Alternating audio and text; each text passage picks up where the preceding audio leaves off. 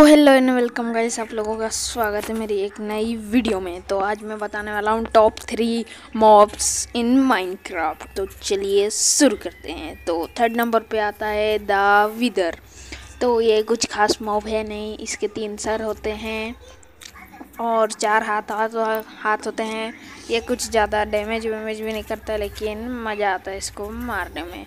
अब बात करते हैं सेकेंड और फ़िलहाल सबसे ज़रूरी मॉब अगर आपको माइनक्राफ्ट ख़त्म करना है तो एंडर ड्रैगन हाँ एंडर ड्रैगन से भी ज़्यादा ताकतवर मॉब है हमारी लिस्ट में फ़र्स्ट नंबर पे।